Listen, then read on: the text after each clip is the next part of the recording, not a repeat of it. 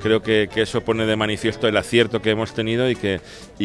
gracias a esta campaña pues estamos nuevamente eh, en el ámbito internacional demostrando y mostrando una imagen diferente de Andalucía, una imagen creativa, una imagen innovadora, una imagen con el talento como, como, enseña y sobre todo con el patrimonio, la cultura, el arte, eh, en definitiva, nuestro acervo como elemento número uno